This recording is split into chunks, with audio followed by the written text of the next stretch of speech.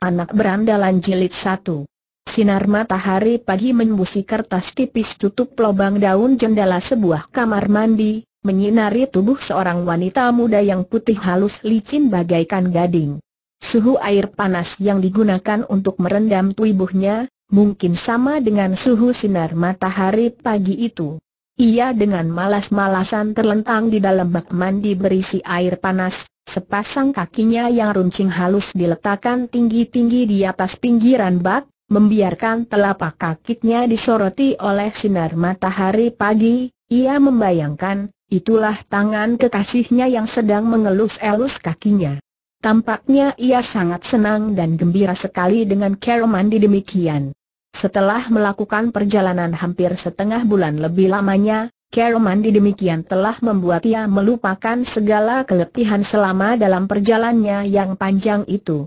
Sekujur tubuhnya semua terendam dalam air hangat, hanya bagian kepada dan mukanya dengan sepasang matanya yang setengah terbuka saja yang berada di atas permukaan air, dengan matanya itu memandang ke arah kakinya yang indah. Sepasang kaki itu pernah mendaki gunung yang tinggi, pernah menyeberangi sungai yang dalam, pernah melakukan perjalanan tiga hari tiga malam berturut-turut di gurun pasir yang panas, juga pernah melakukan perjalanan di atas air sungai yang sudah membeku menjadi salju. Sepasang kaki itu pernah menendang sampai mati tiga ekor serigala kelaparan, seekor kucing liar, pernah menginjak sampai mati entah berapa banyak ekor ular berbisa, pernah juga menendang diri seorang kepala berandal yang banyak tahun mengganas di Gunung Kialian San, hingga terjatuh ke dalam jurang yang dalam. Tetapi sekarang, sepasang kaku itu tampak dan masih tetap demikian runcing dan indah, demikian halus dan putih bersih, sedikit cacat pun tidak dapat ditemukan. Biarpun seorang gadis pingitan yang belum pernah melangkah keluar dari dalam kamarnya, belum tentu memiliki kaki yang demikian indah sempurna. Dalam hatinya ia merasa puas. Di atas perapian masih terdapat air panas. Ia lalu menambah lagi air panas ke dalam bak mandinya. Meskipun air itu sudah cukup panas, tapi ia masih perlu menambah panas sedikit lagi, sebab ia paling senang dirinya dipanasi demikian rupa. Ia suka sekali dengan berbagai jenis dan berbagai care yang mengandung ketegangan. Ia suka menunggang kuda yang bisa lari paling cepat, mendaki gunung yang paling tinggi, makan hindang yang paling pedas, minum arak yang paling keras, mainkan senjata yang paling tajam, membunuh orang yang paling jahat. Orang lain sering berkata, ketengangan urat syaraf paling mudah membuat orang perempuan lekas tua akan tetapi pepatah kata itu tidak berlaku baginya. Matanya, buah dadanya masih tetap membusung tinggi dan padat. Pinggangnya masih tetap ceking langsing, perutnya pun masih tetap rata, sepasang kaki dan pahanya padat kuat. Pendeknya, sekujur tubuhnya dari atas sampai ke bawah, semua menunjukkan tubuh indah, dan padat sekali, kulitnya putih bersih bagaikan sutra. Sepasang matanya jernih, kalau tertawa lesung pipitnya yang dekik itu dapat menggerakkan hati setiap laki-laki yang melihatnya. Siapa pun mungkin tak akan percaya kalau ia adalah seorang wanita muda yang sudah berusia 33 tahun. Selama 33 tahun itu, wanita muda yang bernama Hang Xianyo ini dapat menjaga dirinya benar-benar. Ia mengerti di dalam keadaan dan suasana bagaimana harus mengenakan pakaian macam apa, ia mengerti terhadap orang bagaimana harus mengucapkan perkataan apa, ia mengerti kalau makan sesuatu barang hidangan yang paling cocok harusnya ditimpali dengan arak yang bagaimana, ia juga mengerti harus menggunakan gerak tipe macam apa untuk membunuh lawan yang bagaimana. Ia mengerti seluk-beluknya penghidupan, ia juga mengerti bagaimana harus menikmati hidup. Orang seperti dia, di dalam dunia ini tidak banyak jumlahnya. Ada banyak orang yang mengiri terhadapnya. Tak kurang orang dengki padanya, tetapi ia sendiri sudah cukup merasa puas. Cuma ada satu hal yang belum bisa membuat ia puas benar-benar. Hal itu adalah kesepian. Tidak peduli hal-hal apa yang menegangkan urat syarafnya juga tidak dapat menghapuskan rasa kesepiannya itu. Sekarang perasaan letihnya yang terakhir juga lenyap di dalam air. Waktu inilah ia baru menggunakan handuk putih, menyeka tubuhnya. Handuk yang halus puit telah menyeka tubuh dan kulitnya, tentunya membuat orang merasakan kenikmatan yang tidak dapat dilukiskan. Tetapi, ia sesungguhnya ingin sekali merasakan, yang menyeka tubuhnya itu adalah tangan seorang laki-laki. Tangan laki-laki yang dicintainya. Betapapun halus lembutnya handuk sutra juga tidak dapat dibandingkan dengan tangan dari kekasih, dalam dunia ini tiada sebuah benda pun yang dapat menggantikan tangan seorang kekasih. Termangu-mangu ia memandang tubuhnya sendiri yang licin putih bersih, hampir tidak ada sedikit pun nodanya, dalam hatinya sekonyong-konyong timbul perasaan sedih. Mendadak, di jendela, pintu dan dinding-dinding kamar mandi itu, dalam waktu bersamaan terdapat tujuh delapan lobang. Di setiap lobang tampak menojol kepala orang, setiap muka kelihatan sepasang matanya yang rakus. Ada yang tertawa cekikikan, ada yang memandangnya dengan mata terbuka lebar sampai tidak sempat tertawa. Tapi yang terang kebanyakan orang laki-laki kalau sudah menyaksikan tubuh seorang perempuan yang cantik dalam keadaan telanjang bulat, dalam waktu singkat saja bisa berubah seperti anjing, anjing kelaparan. Lubang di atas lubang jendela itu yang letaknya paling baik, terpisah paling dekat, hingga bisa melihat paling jelas nyata. Orang yang menongolkan kepalanya di lubang ini, adalah seorang laki-laki yang mukanya penuh daging menonjol, demikian pun kepalanya juga terdapat sebuah daing lebih yang besar, Tampaknya seperti mempunyai dua kepala yang ditumpuk menjadi satu, orang semacam ini sebetulnya sangat memuakan.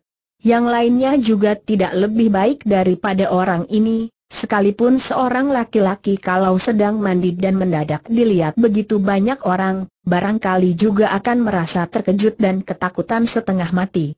Akan tetapi bagi Hang Xianyo, seorang wanita yang lain daripada yang lain, ia sedikit pun tidak menunjukkan perubahan sikap apa-apa, bahkan masih dengan tenangnya duduk setengah badang di dalam bak mandinya dengan handuknya yang halus dan putih menyeka tubuh dan tangannya sendiri.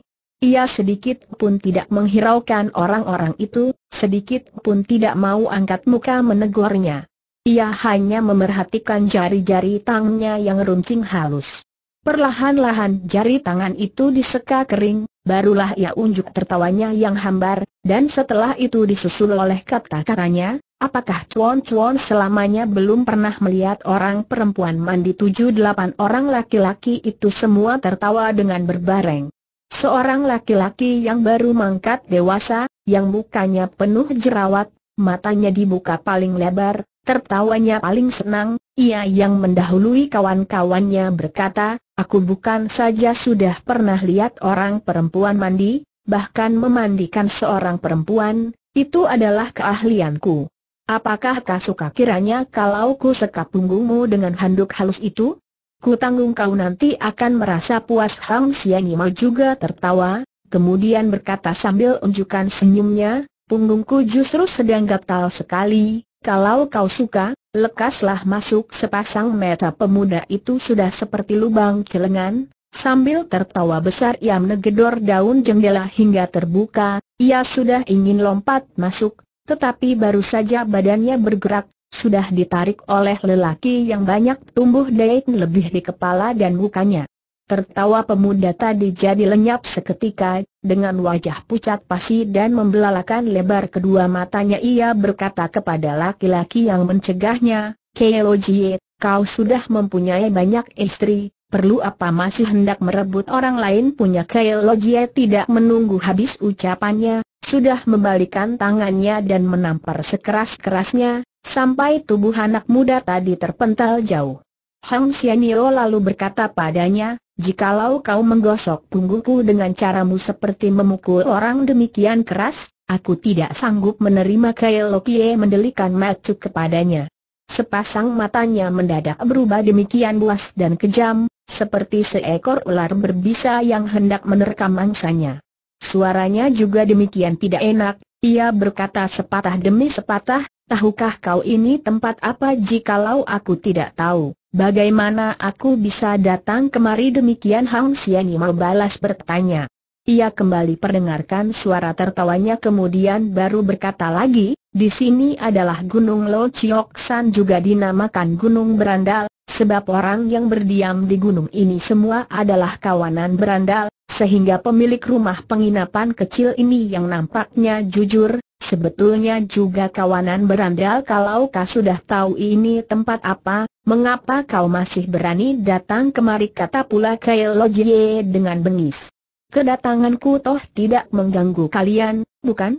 Aku hanya ingin meminjam tempat ini untuk mandikan diriku saja. Apa itu salah di mana saja kau toh bisa mandi?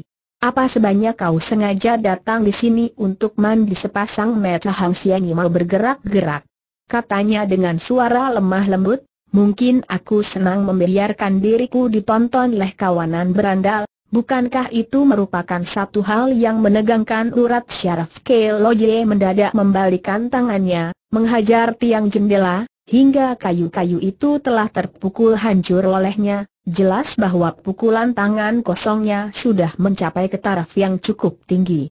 Hang Xianyo sebaliknya tetap berlaga seperti tidak pernah melihat, ia hanya menghela napas perlahan, dan katanya seperti menggumam sendiri, masih untung aku tidak suruh orang ini menggosok punggungku, tindakannya demikian kasar, Kei Loje marah dan bentaknya dengan suara keras, di mata seorang bajingan tidak perlu kau berlaga, kau datang kemari sebetulnya ada keperluan apa?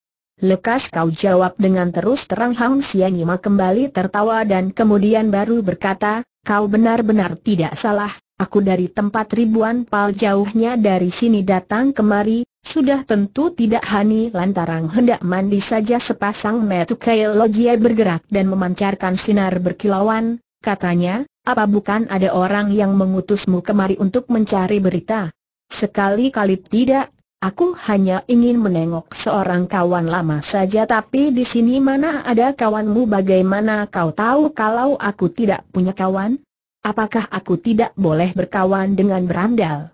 Mungkin aku sendiri juga berasal dari orang berandal yang belum kau ketahui wajah Kelojiai berubah seketika, tanyanya, siapakah kawanmu itu? Aku juga sudah lama tidak ketemu dengannya, kabarnya selama beberapa tahun ini keadaannya boleh juga. Ia sudah menjadi tolako dari kawanan berandal di daerah Koantiong, cuma masih belum tahu kau kenal orang yang kumaksud itu atau tidak wajah Kelojiai kembali berubah, tanyanya, kawan-kawan golongan hitam di daerah Koantion, semua berjumlah 13 golongan. Setiap golongan ada seorang toako, tidak tahu siapa yang kau maksudkan itu ia seperti sudah menjadi pemimpin besar dari 13 golongan berandal kalian jawab Hang Xianio dengan hambar. Keo Jia kini tercengang, tak lama kemudian tiba-tiba ia tertawa besar, dan berkata sambil menunding Hang Xianio, dengan perempuan seperti kau ini, juga apakah pantas berkawan dengan seorang pemimpin besar mengapa aku tidak bisa berkawan dengannya?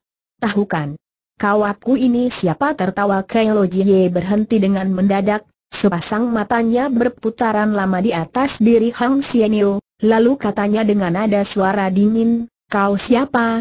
Tidak mungkin kau Hang Xianimo perempuan siluman itu Hang Xianimo tidak menjawab pertanyaan itu, Sebaliknya ia balas bertanya, kau ini bukankah seorang yang bernama Kepot Tek yang mempunyai nama julukan ular kepala dua di wajah Kelogie saat itu menunjukkan rasa bangga, katanya sambil tertawa, benar, tidak peduli siapa, kalau melihat aku seular kepala dua semua harus mati kalau kau benar memang ular kepala dua, aku terpaksa mengaku adalah Hang Xianyu, jilid 1 sampai 2. Tangan Hang Xianyu, anak berandalan, kepala ular kepala dua seperti pecah dengan mendadak, menjadi berkeping-keping.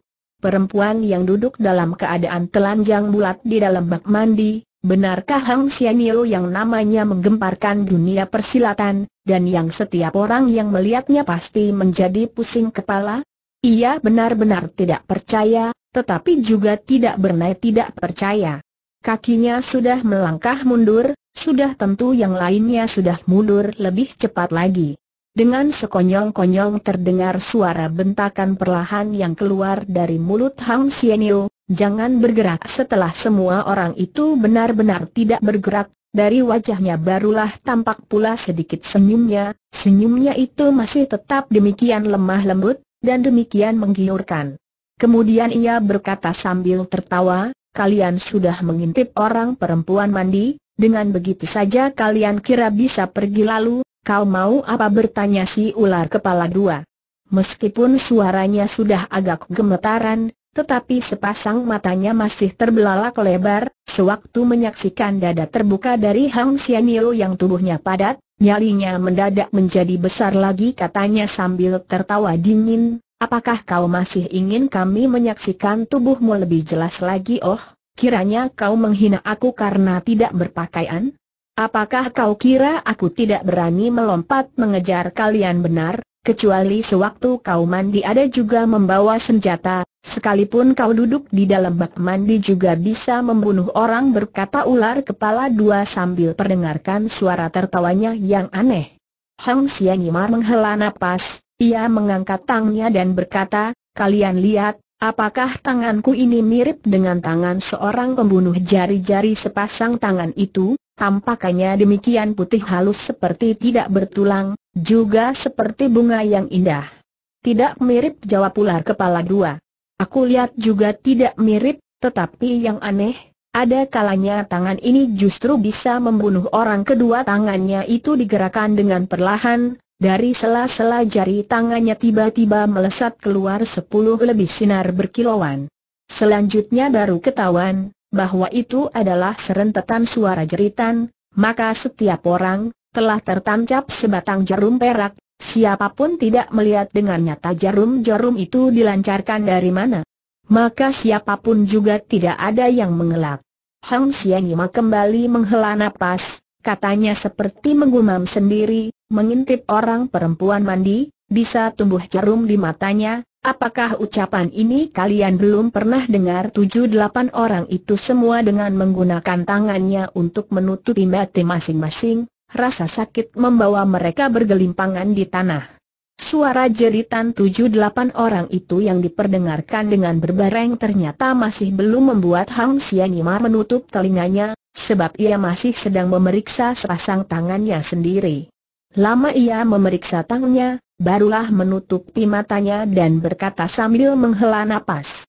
Sepasang tangan yang baik-baik tidak digunakan untuk menyulam, sebaliknya digunakan untuk membunuh orang, benar-benar sangat sayang, dengan mendadak suara jeritan itu berhenti semua, seolah-olah dalam waktu sekejap mata berhenti dengan berbareng, Hang Xianyima mengerutkan alisnya, memanggil dengan suara perlahan. Hoap di luar tidak ada suara, hanya suara angin yang meniup daun-daun di atas pohon hingga memperdengarkan suara bekersekan. Lama telah berlalu, baru terdengar suara golok masuk ke dalam sarungnya. Bibir Hang Xiani mau tersungging senyuman, katanya pula, aku tahu kau yang datang. Kecuali kau, siapa lagi yang dapat membunuh tujuh delapan orang itu dalam waktu sekejap mata?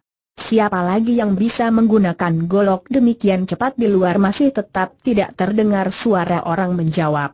Hang Xianyo berkata lagi, aku tahu kau yang membunuh mereka, disebabkan supaya mereka tidak terlalu lama menderita, aku tidak tahu sejak kapan hatimu berubah demikian lemah sesaat kemudian dari luar baru terdengar suara orang berkata perlahan, Hang Xianyi makah yang ada di dalam syukur kau masih mengenali suaraku, Ternyata kau masih belum lupa padaku, menjawab Hang Xianyo sambil tertawa.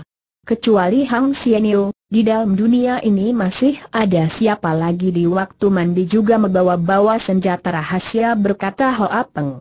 Hang Xianyo mau tertawa terkekeh-kekeh, kemudian berkata, kiranya kau juga sedang mengintip aku yang sedang mandi, ya? Kalau tidak, dari mana kau bisa tahu kalau aku sedang mandi Hoa Peng seolah-olah tidak mendengar ucapannya. Hang Xianyo berkata, kalau kau sudah melihat, mengapa kau tidak mau masuk terang-terangan saja kau pergi meninggalkan daerah ini enam tujuh tahun lamanya, bukankah kau sudah merasa aman? Mengapa sekarang kau kembali lagi sebab aku memikirkan kau? Hoa Peng kembali bungkam.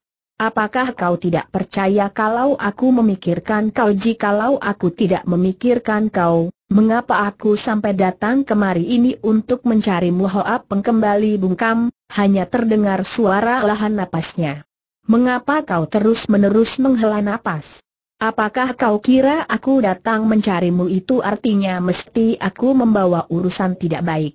Seorang sudah menjadi jaya, kawan lamanya juga tidak ingin melihat lagi pakailah pakaianmu, sebentar aku tengok kau aku sudah berpakaian, Masuklah orang yang dipanggil Loa Peng tadi akhirnya kini sudah berada di ambang pintu. Wajahnya yang memang banyak guratan, ketika melihat Hang Xianimar masih duduk di dalam bak mandinya dalam keadaan telanjang bulat, wajahnya dengan mendadak seperti bertambah banyak guratannya.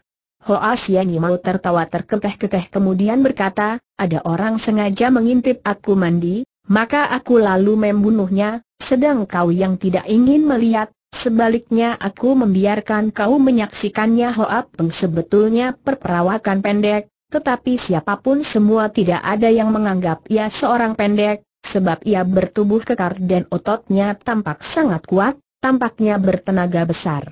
Waktu itu ia mengenakan mantel panjang warna hitam, namun di atas punggungnya masih tampak gagang goloknya yang diselubungi dengan kain warna merah. Hoa Peng bisa menjadi kepala semua berandal di daerah Koan Tiong, justru disebabkan goloknya itu. Ku dengar kabar beberapa tahun berselang kau telah membunuh mati Kao Ahui, si jago pedang di daerah Taigoan, apakah itu benar bertanya Hang Xianyu? Ya menjawab Hoa Peng. Kabarnya sepasang golok Gunung Tai Hang San dua saudara Teng juga kalah di bawah golokmu. Itu juga betul ya jawab Hoa Peng. Orang si Hoa ini bukan saja tidak berani memandang Hang Xianyu, bahkan bicara pun tidak suka banyak.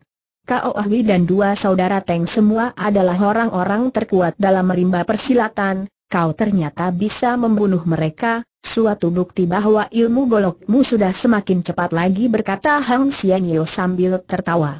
Kali ini sepatah kata pun tidak keluar dari mulut Hoa Peng. Hang Xianyu mau berkata lagi, aku kemari, Sebabnya ialah hendak melihat ilmu golokmu yang cepat wajah Hoa Peng mendadak berubah, katanya dengan suara berat benarkah kau hendak melihat kau tidak usah panik, aku bukan mencari kau untuk bertanding, sebab aku tidak suka mati di bawah golokmu, juga tidak tega membunuh kau berkata Hang Xianyo sambil tersenyum. Perubahan wajah Hoa Peng tadi lama sekali baru pulih seperti biasa, lalu katanya dengan nada suara dingin, kalau begitu, kau tak usah melihat lagi sajalah mengapa sebab golokku ini hanya dapat digunakan untuk membunuh orang, sama sekali bukan buat ditonton sepasang biji mata Hang Xianilo yang jelita tampak berputaran, katanya sambil tertawa, tetapi bagaimana kalau aku justru hendak melihatnya? Hoa Peng yang sejak tadi hanya dia saja, tiba-tiba berkata, baik, kau lihatlah jilid 1 sampai 3. Tangan Hoa Peng, anak berandalan, ucapan Hoa Peng itu meskipun sangat perlahan, tetapi seluruh ucapannya hanya itu saja, bagi orang lain siapa saja. Kalau mengucapkan perkataan yang demikian singkat, kiranya tidak perlu menggunakan waktu demikian lama, akan tetapi setelah kata-kata yang diucapkan sangat lambat itu selesai, goloknya sudah keluar dari sarungnya dan kemudian dimasukkan lagi. Orang hanya melihat berkelebatnya sinar golok, sebuah bangku yang berada di ambang pintu di depan sana tahu-tahu sudah terbelah menjadi dua potong. Kecepatan Hoa pemain golok benar saja sangat mengejutkan dan mengagumkan sekali. Tetapi Hang Xianyo yang menyaksikan itu sebaliknya malah jadi tertawa cekakakan, kemudian berkata sambil menggelengkan kepala, yang kuingin saksikan ialah ilmu golokmu untuk membunuh orang, bukan untuk membelah bangku.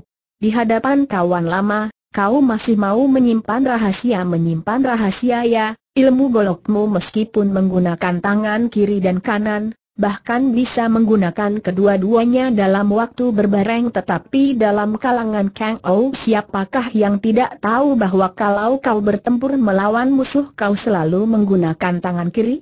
Golok yang kau gunakan dengan tangan kiri, sedikitnya lebih cepat dari tangan kananmu berlipat ganda, bukankah begitu aja Hoa Peng kembali berubah, ia berdiam lama, kemudian baru berkata dengan suara berat, Apakah kau mesti hendak menyaksikan ilmu golok tangan kiriku tentu Hoa Peng menghela napas, kemudian berkata, baik, kau lihatlah dengan mendadak ia membuka kerudung mantelnya yang hitam.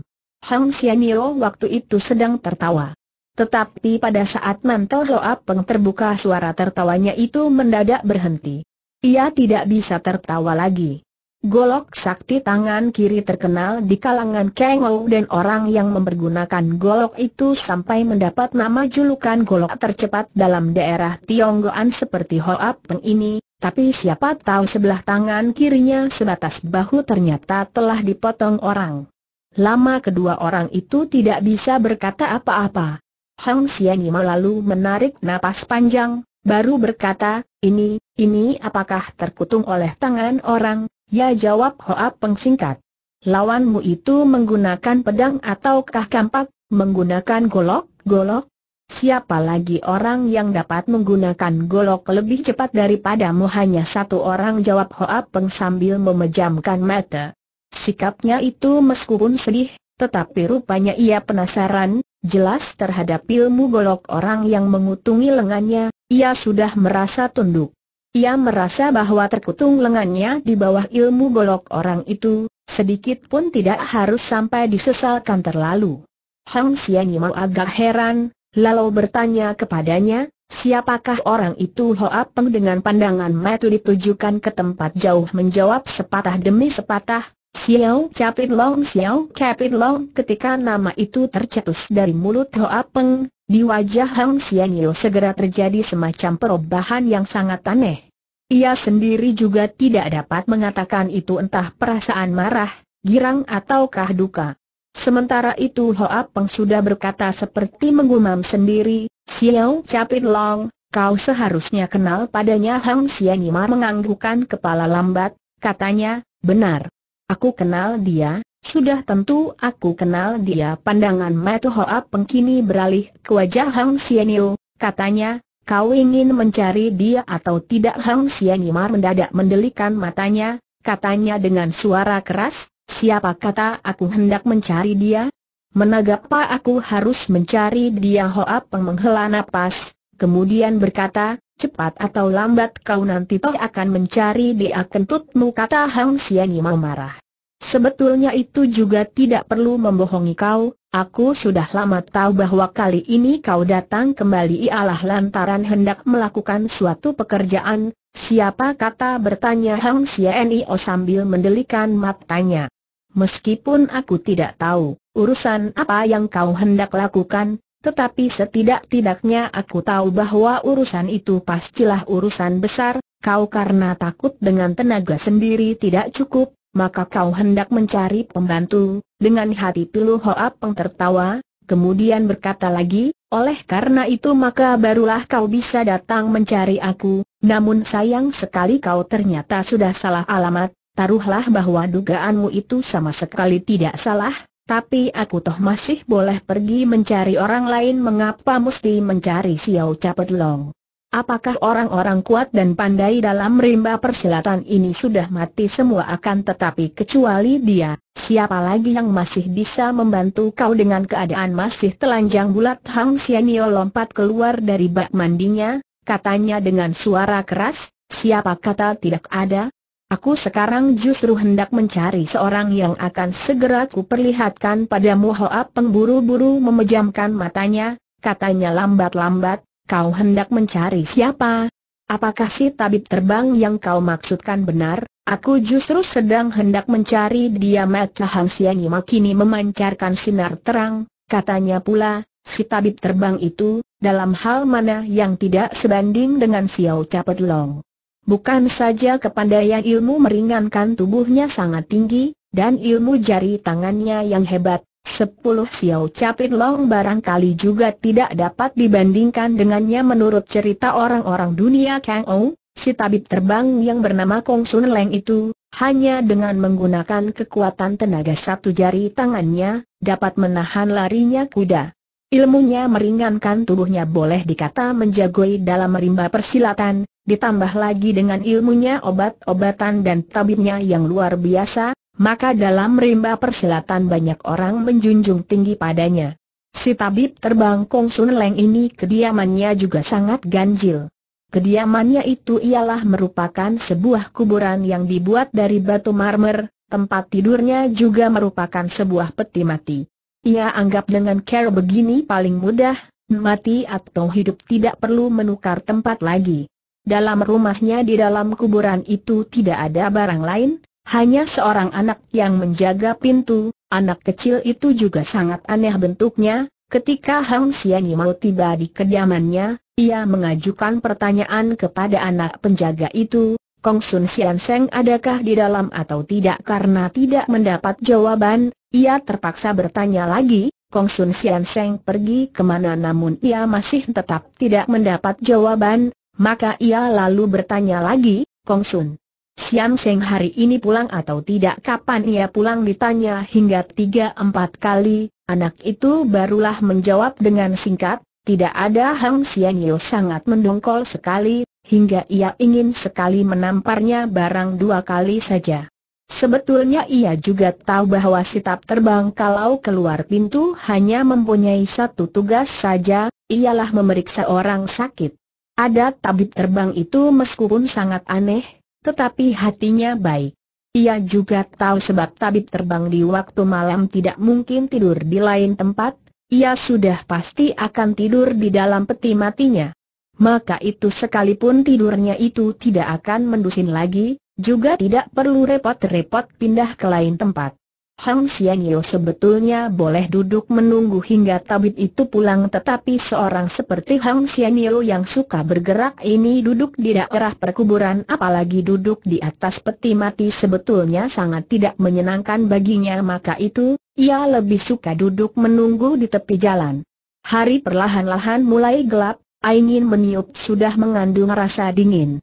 Tempat Hang Xianilo duduk menunggu ialah di atas sebuah bukit kecil, ia mencari ke suatu tempat yang lebih enak untuk merebahkan diri, dengan mata memandang jauh ke atas angkasa, menantikan munculnya bintang yang pertama. Sedikit sekali jumlahnya orang yang dapat melihat bagaimana bintang pertama itu muncul di atas angkasa. Demikianlah orangnya dan sifatnya Hang Xianio, tidak peduli di dalam keadaan bagaimanapun, ia selalu dapat mencari pekerjaan yang menyenangkan baginya, sedikit pun tidak mau menyia-nyiakan hidupnya. Dalam dunia ini ada berapa orang yang mengerti dan dapat menikmati penghidupan malam telah larut, bintang-bintang di langit pada bermunculan. Dalam cuaca yang gelap itu akhirnya terdengar suara langkah kaki yang berat, segera nampak oleh Hang Xianyo, dua orang memikul sebuah tandu kecil berjalan melalui jalanan pegunungan, di atas tandu duduk seorang tua kurus kering berpakaian jubah kain kasar yang berwarna hijau. Sikap orang tua itu sangat tenang, tampaknya letih sekali, ia memejamkan mata mungkin untuk menghilangkan letihnya. Dua orang laki-laki yang memikul tandu itu tampaknya letih sekali, napasnya memburu seperti napas kerbau sehabis membajak. Ketika berjalan di hadapan bukit kecil di mana di atasnya rebah Hang Xianyo, Tukang tandu yang ada di depan berpaling dan berkata kepada kawannya, di depan merupakan suatu jalanan gunung yang amat panjang, mari kita berhenti sebentar di sini, baru mendaki gunung kawannya yang berada di belakang lalu menyahut, dua hari ini semangatku menurun nanti kalau kita mendaki gunung, kita tukar tempat saja memang kalau mengusung tandu, orang yang memikul di belakang sudah tentu menggunakan tenaga lebih banyak. Seng kawan yang ada di depan berkata sambil memaki dan tertawa, enak saja kau, kembali mau enaknya sendiri, apakah tadi malam kembali kau main pacar-pacaran dengan pacarmu kulihat cepat atau lambat? Satu hari kelak nanti kau mampus di atas perutnya. Dua tukang tandu itu berkata-kata dan tertawa-tawa, sedang langkah kaki mereka sudah mulai lambat, sedang orang tua yang di atas tandu itu juga tahu entah benar-benar tidur, entah tidak atau pura-pura tidur untuk mendengarkan pembicaraan mereka. Namun demikian matanya itu sama sekali belum pernah dibuka. Tiba di depan tanah pegunungan, tukang tandu itu berhenti, dan perlahan-lahan meletakkan tandunya. Dengan mendadak, Dua orang itu dalam waktu bersamaan dari tiang tandu masing-masing menghunus dua bilah pedang yang panjang dan kecil, dua bilah pedang menikam ke depan ulu hati si orang tua, sedang dua bilah pedang yang lain menikam belakang punggung orang tua itu. Kaki si tabib terbang orang itu adalah si tabib terbang Kong Sun Leng. Sedang dua tukang tandu tadi sungguh tidak disangka-sangka ternyata adalah orang-orang rimba persilatan yang berkepandaian tinggi namun tidak ditunjukkan, cepatnya mereka bergerak, benar-benar sangat mengagumkan. Empat bilah pedang itu bergerak dengan berbareng, menikam dari depan belakang, atas dan bawah, dalam waktu sekejap mata saja, sudah menutup semua jalan mundur si tabib terbang, biar bagaimana hendak mengelak, di tubuhnya pasti tidak terhindar dari dua buah lubang. Hang Xianimar meskipun merupakan seorang kangou kawakan tapi tidak menduga akan terjadinya hal demikian, ia ingin memburu dan coba mencegah juga sudah tidak keburu lagi, ia mengira kali ini si tabib terbang barangkali akan mati di tangan mereka. Siapa sangka pada saat yang sangat berbahaya itu tubuh si tabib terbang mendadak dimiringkan, dua bilah pedang telah lewat di samping tubuhnya, dua bilah yang lain baru mengenakan bajunya, tetapi sudah berhasil dijepit oleh dua jari tangan kiri dan dua jari tangan kanan, jari tangan itu bagaikan tangan besi yang menjepit sangat kuat. Dua tukang tandu itu mengerahkan seluruh kekuatan tenaganya juga tidak dapat bergerak sama sekali. Sesaat kemudian, terdengar suara tak dua kali, dua bilah pedang tajam tadi sudah dipatahkan oleh jari tangan si tabib terbang. Dua tukang tandu itu dalam keadaan terkejut, lalu lompat mundur dan jumpalitan sejauh dua tombak. Si tabib terbang masih memejamkan mata, tapi kedua matanya menyambit keluar, dua potong ujung pedang yang tergenggam di tangannya melesat dan berubah menjadi dua benda berkeredipan. Kemudian disusul oleh dua kali suara jeritan ngeri. Darah segar munkrat keluar dari tenggorokan dua tukang tandu tadi, meskipun dua orang itu sudah mati, namun gerak melesatnya mereka masih tetap hingga darah merah berceceran di tanah. Ketika suara jeritan itu berhenti, suasana kembali berubah menjadi sunyi senyap seperti semula belum ada kejadian itu. Dalam suasana sunyi itu, Tiba-tiba terdengar suara tepuk tangan nyaring. Siapa bertanya si tabib terbang dengan suara bengis. Sepasang matanya selalu terbuka lebar-lebar, memancarkan sinarnya yang tajam, ditujukan ke tempat di mana Hang Xianyo sedang tempatkan diri, ia segera menampak wajah Hang Xianyo yang sedang memandangnya dengan berseri-seri. Si tabib terbang mengerutkan alisnya, katanya, Oh, kiranya kau sudah banyak tahun kita tidak ketemu, Tak disangka Kong Sun Sian Seng masih tetap gagah dan lincah seperti dahulu kala, tampaknya kepandaian ilmumu semakin banyak maju lagi berkata Hang Xian Yo sambil tersenyum. Sepasang alis si tabib terbang semakin dikerutkan, katanya, Xian Yo, kau demikian merendahkan diri terhadap aku si tua bangka, apakah kedatanganmu ada maksud Hang Yimar menghela napas, katanya menggumam, Jikalau aku berlaku baik kepada orang, orang mengatakan aku datang hendak minta pertolongan, jikalau berlaku tidak baik terhadap orang, orang mengatakan aku tidak sopan. Airih. Zaman ini benar-benar tidak mudah menjadi orang si tabib terbang mendengarkan dengan tenang di wajahnya tidak menunjukkan sikap apa-apa. Sebetulnya aku hanya kebetulan lewat di tempat ini, tiba-tiba aku ingat dan ingin menengok kau, bagaimana juga, kita toh masih terhitung kawan-kawan lama berkata Hang Xianyu. Si tabib terbang masih tetap mendengarkan dengan tenang, tidak ada reaksi sedikit pun juga. Hang Xianyimar mengawasi padanya sejenak, lalu menepok-nepok pakaiannya sendiri dan berkata, kau lihat, aku toh tidak sakit, tidak terluka, untuk apa aku harus minta pertolonganmu? Sekarang bukankah kau sudah melihat aku? Ya, baik sampai ketemu lagi.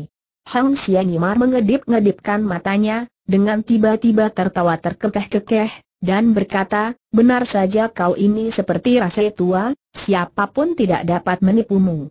Kini si tabib terbang barulah tunjukkan tertawanya, kemudian berkata, ketemu siluman perempuan seperti kau ini, aku juga terpaksa menjadi rasa tua.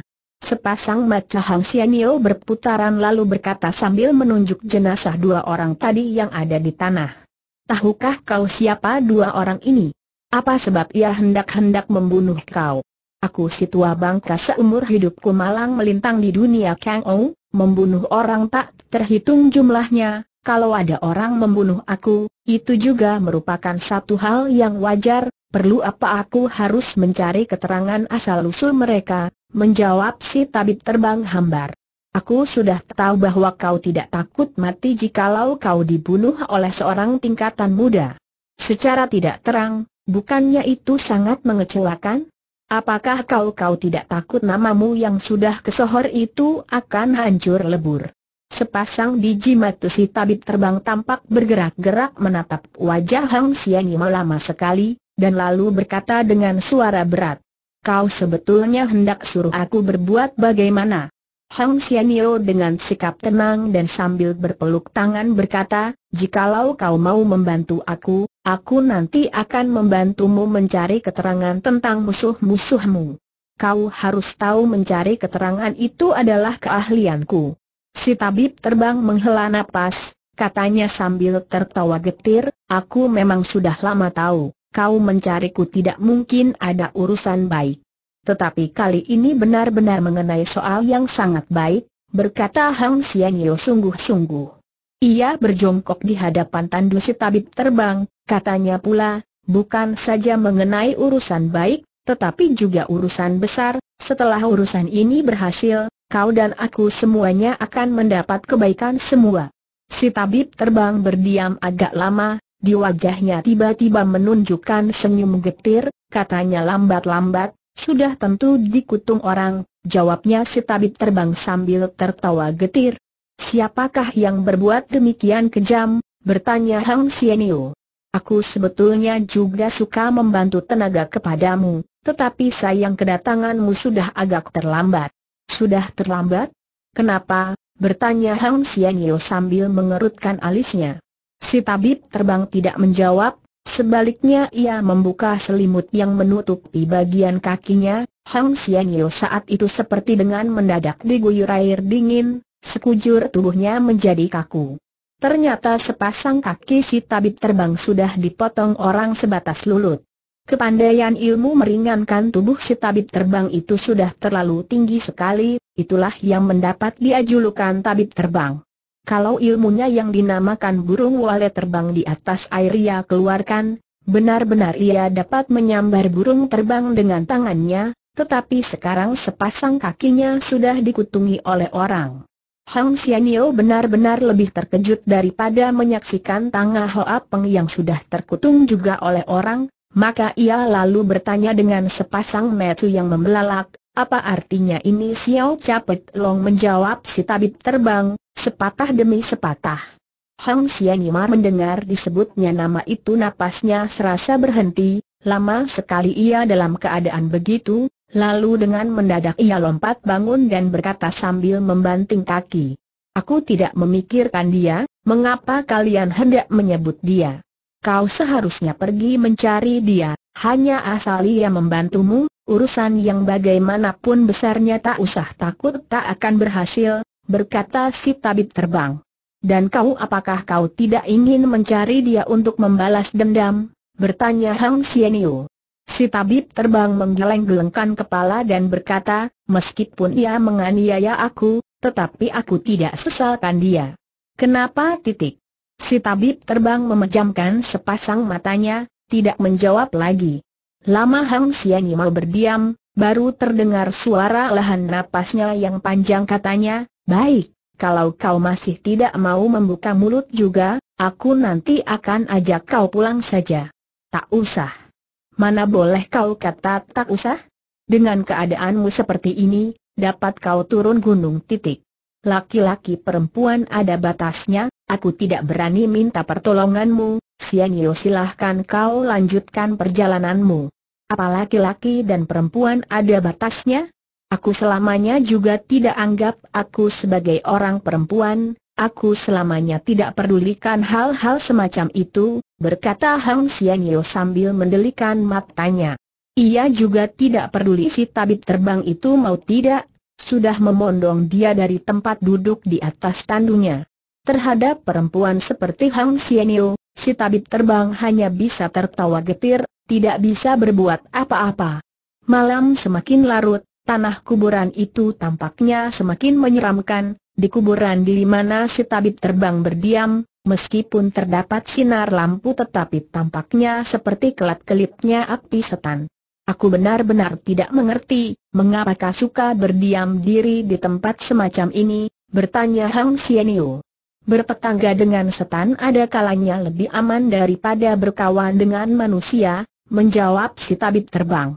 Itu memang benar, setan setidak-tidaknya tidak bisa mengutungi kedua kakimu, menjawab Hang Xianyo dingin. Sepatu pembunuh dalam kuburan itu meskipun ada pelita, tetapi tidak ada orangnya, kacung yang adatnya aneh luar biasa, yang oleh si tabib terbang ditugaskan menjaga pintu, kini juga entah ke mana perginya. Yang paling mengherankan ialah, peti mati tempat tidur si tabib terbang itu juga. Tidak tertampak lagi. Apakah di tempat semacam itu juga ada pencuri yang datang mengganggu? Hang Xianyo yang menyaksikan itu semua tertawa sendiri, pencuri ini juga lucu sekali, ia apa pun tidak mengambil, hanya mencuri peti mati, sekalipun dia sedang kematian, juga tidak perlu datang kemari, ia tidak menghabiskan ucapannya itu, sebab dengan tiba-tiba ia menampak tubuh si tabib terbang sedang gemetaran, dan ketika ia memperhatikan mukanya, juga sedang mengucurkan keringat dingin. Hang Xianyo segera merasakan bahwa urusan ini agak tidak beres, maka lalu bertanya sambil mengerutkan alisnya, peti matimu apakah ada rahasianya apa-apa? Si tabib terbang menganggukkan kepala. Kukira kau tidak mungkin seorang pengumpul harta, sudah tentu tidak mungkin kau menyimpan harta bendamu yang berupa uang atau barang permata yang disimpan dalam peti matimu, kalau begitu, matanya mendadak membelalak dan berkata lagi, aku tahu kau tentunya mengira bahwa dalam dunia ini tidak akan ada orang yang berani peti matimu, maka kau menyimpan kitab ilmu tabib dan pelajaran ilmu silatmu di dalam peti mati, supaya kalau kau mati bisa ikut dikubur bersama-samamu. Si tabib terbang kembali menganggukkan kepala, ia agaknya tidak mau mengatakan lagi. Hang Xianimar menghela napas dan berkata, aku benar-benar tidak mengerti, kalian orang-orang ini mengapa selalu egoistis, mengapa tidak mau menurunkan pelajaran sendiri, belum habis ucapannya, Tiba-tiba terdengar suara orang menghela napas kacung penjaga pintu yang aneh itu sudah kembali berdiri di ambang pintu. Akan tetapi sekujur tubuhnya sudah penuh darah, lengan tangan kanannya juga terkutung, sepasang matanya memandang si tabib terbang seperti sudah tidak bercahaya, dengan suara serak dan terputus-putus ia mengucapkan nama seseorang, Xiao Capet Long. Setelah mengucapkan perkataan itu, Orangnya rubuh ke kiri, sedang tangannya masih memegang sebuah sepatu, ia menggenggam demikian eratnya, sehingga mati pun belum mau melepaskan. Xiao Capit Long, kembali nama Xiao Capit Long disebut oleh kacung tadi. Hang Xianimar menjejakkan kakinya, katanya dengan suara gemas, tak disangka dia, dia telah berubah menjadi orang demikian. Aku selamanya juga tidak menduga ia bisa melakukan perbuatan demikian. Ini tidak mungkin perbuatannya, berkata si tabib terbang. Pandangan mata Hang Xianyi kini ditujukan kepada sepatu itu. Sepatu itu terbuat dari kulit sapi buatannya sangat indah dan halus, tetapi juga tidak sembarang orang yang dapat memakai sepatu semacam itu, biasanya hanya orang-orang sopan saja yang mengenakannya. Sedangkan pendekar-pendekar rimba persilatan yang mengenakan sepatu semacam itu jumlahnya juga tidak banyak. Hang Xianimar menghela napas panjang katanya, dia sebetulnya tidak pernah memakai sepatu semacam ini, tetapi setan yang tahu dia sekarang sudah berubah bagaimana macamnya. Xiao Capit Long selamanya tidak bisa berubah, kata si tabib terbang. Waktu itu meskipun Hang Xianyo sedang cemberut mukanya, tetapi di bibirnya masih tersungging senyuman, katanya, ini benar dua suatu kejadian yang sangat aneh, ia telah mengutungi kedua kakimu, mengapakah sebaliknya malah masih membela padanya dengan mengucapkan perkataan baik begitu dia datang mencari aku dengan cara yang sopan dan seperti laki dua jantan, ia melukai aku secara jantan, Aku tahu dia juga seorang jantan, tidak mungkin melakukan perbuatan serendah ini, berkata si tabib terbang. Hang Xianimar menghela napas, baru berkata, kalau demikian halnya, kau seolah-olah lebih mengerti padanya daripadaku. Akan tetapi, bocah ini sewaktu hendak menghembuskan napasnya yang penghabisan, mengapa menyebutkan namanya bocah ini tidak mengenal siapa Xiao Capit Long, tetapi sebaliknya kau mengenal dia, jikalau kau dapat mengejar pembunuh itu kau nanti akan tahu siapa adanya dia, bolak-balik toh kau masih ingin minta aku pergi mengejar bangsat itu, si tabib terbang menundukkan kepala dengan sikap duka mengawasi ke arah pahanya yang tidak mempunyai sambungan lagi ke bawah. Di wajah Hang Xianimar menunjukkan sikap simpatik, katanya, baik aku nanti akan pergi mengejar hanya semata-mata untukmu, tetapi dapat menyanda atau tidak, aku sekarang tidak berani memastikan, kau tentunya tahu bahwa ilmu meringankan tubuhku tidak seberapa hebat, bukan orang itu mengusung peti mati, pasti tidak bisa berjalan cepat, kalau tidak bocah ini juga tidak sampai mati. Bocah itu tentunya sudah dapat mengejar dan menyanda orang itu bahkan sudah berhasil memeluk kakinya, Hang Xianio berkata sambil menggigit bibir, apa sebab dia mau mengaku bernama Xiao Capet Long? Apa sebab ia telah membunuh bocah ini? Jikalau tidak demikian sekalipun dia telah mencuri 800 perti mati aku juga tidak akan pergi mengejar, Malam gelap keadaan dan suasana di tanah pegunungan sepi sunyi angin meniup kencang. Hang Xianyo selamanya tidak suka menggunakan ilmu lari pesatnya sambil melawan angin kencang, sebab ia takut angin meniup di mukanya bisa-bisa membuat kulitnya jadi keriputan. Tetapi sekarang dia malah berlari sedemikian pesat sambil melawan angin kecang ini bukanlah disebabkan ia hendak atau ingin cepat dua dapat menyandak pembunuh dari kacung si tabib terbang melainkan hendak menggunakan angin dingin dan kencang itu untuk menghapuskan bayangan orang di dalam hatinya. Waktu pertama kali ia bertemu dengan Xiao Capit Long, Xiao Capit Long masih merupakan seorang pemuda yang baru meningkat dewasa, sewaktu itu Xiao Capit Long dalam keadaan setengah telanjang, melawan derasnya air yang mengalir, ia coba menerjang air yang turun dari air terjun. Ia mencoba berkali-kali, tapi entah sudah beberapa kali mengalami kegagalan, sampai satu kali ia sudah hampir berhasil, tetapi kemudian terpukul oleh air yang terjun dengan derasnya sehingga tubuhnya menumbuk sebuah batu, dan darah mengalir dari kepala dan tubuhnya. Namun demikian, luka-luka itu tidak dihiraukannya, bahkan dibalut pun tidak. Sambil menggertak gigi ia kembali menerjang air deras itu dah kali ini ternyata berhasil, ia dapat mendaki sampai di puncaknya gunung, berdiri di atas bukit sambil tertawa dan tepuk-tepuk tangan.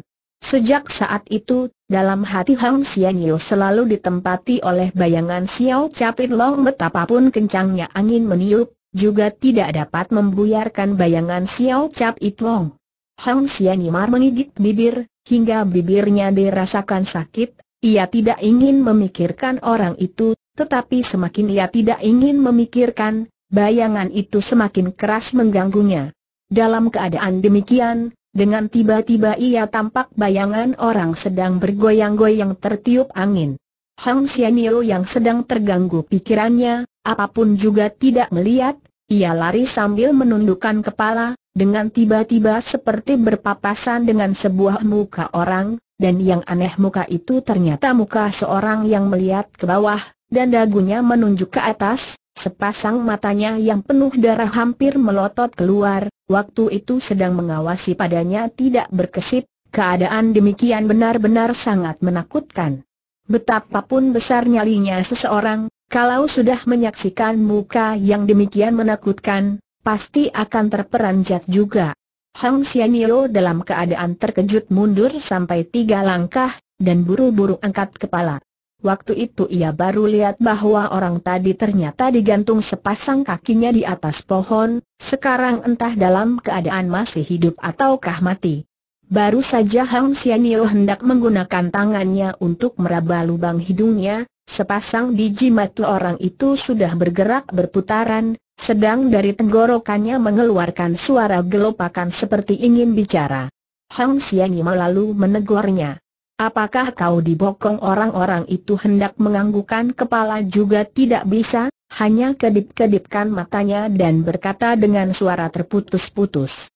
Berandal, berandal, kau ketemu dengan berandal bertanya pula Hang Xianyo orang itu kembali mengedip-ngedipkan matanya, orang itu usianya belum tua, kumis dan jenggot di wajahnya habis dicukur, di badannya mengenakan pakaian sangat perlente tapi wajahnya menunjukkan ia seorang buas dan jahat. Aku lihat kau sendiri mirip dengan berandal, jikalau aku menolongmu barangkali aku nanti malah kau rampok, berkata Hang Xianyo sambil tertawa. Sepasang mata orang itu memancarkan sinar buas, namun ia masih berkata sambil tersenyum, asal Nona mau menolong aku nanti akan beri hadiah besar padamu, kau sendiri sudah dirampok habis-habisan, barang apa yang akan kau hadiahkan padaku orang itu tidak bisa membuka mulut lagi, sedang keringat dingin di kepalanya sudah mengucur keluar. Hang Xianyi mau tertawa dan berkata, mengapa dalam pandanganku kau ini tidak mirip dengan orang baik?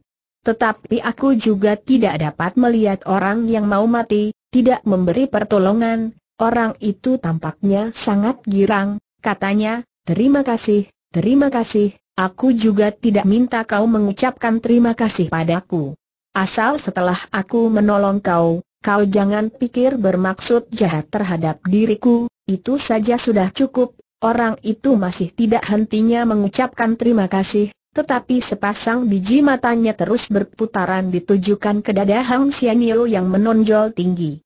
Hang Xianyou juga tidak marah, sebab ia tahu bahwa kaum laki-laki kebanyakan memang bermata keranjang.